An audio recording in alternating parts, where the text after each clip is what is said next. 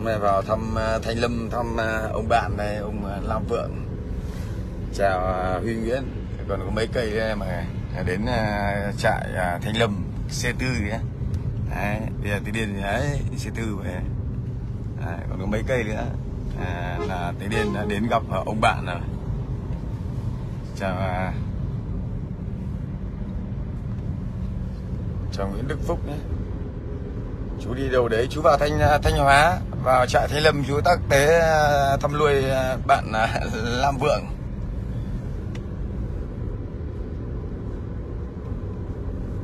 Chú chú chưa ăn sáng. Đến nơi với ăn sáng các bạn chưa ăn sáng chạy từ nam định về đây.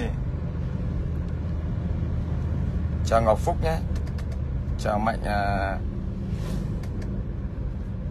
nguyễn dinh. À, đến gần cổng trại là tí lên có thể tắt tắt like không là người ta lại à, ngăn ngăn cấm uh, quay video chụp ảnh ở trên uh, uh, hình ảnh của trại giam. Chào bùi thanh tùng ờ, à, chào bùi mạnh tùng nhé. Cả đêm mất ngủ này. đi uh, trông ngóng vào thao tế cho ông bạn. Đón quả xuân cho nó ô chỉ kê. 11 năm không biết bao giờ về đấy. Tất cả đều vì sự trả giá với những cái sai lầm của mình Đấy mạng bị bị bị gián đoạn mọi người ạ. Thông cảm nhé. Vào đây vào rừng rừng rú rồi. Gần giáp lào rồi, đâm ra là nó mất sóng. Nó mất sóng. Mất cả cột sóng luôn. Chào trung phùng nhé.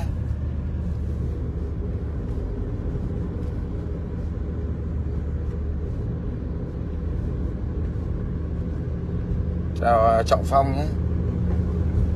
Thank you em. Và gần trại nó mất sóng, mất cột sóng rồi đấy. Đấy, đấy đi vào trại đấy mọi người chào nguyễn lưu nhá. Và đây nó sóng nó kém nó yếu mọi người nó yếu nó mất sóng. Nay anh tế đi à, thăm anh Nam Vượng. Đúng rồi em ơi anh đang vào xe tư đây. Anh đang vào xe tư đây. Sợ thật vào cái này núi đồi nhiều nó mất mất sóng luôn. Em ơi này. Đấy bất khuất chưa mọi người? Đấy ở nhà không muốn ấy, một chút sai lầm ấy. đánh đổi của giá trước tiên cũng ở trại thanh à, thanh hóa này.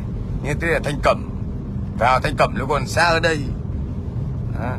heo hút hơn đây. Vào đây là dân tộc rồi đây. Dân tộc là mường mán rồi. Đó, một chút sai lầm đánh đổi bây giờ.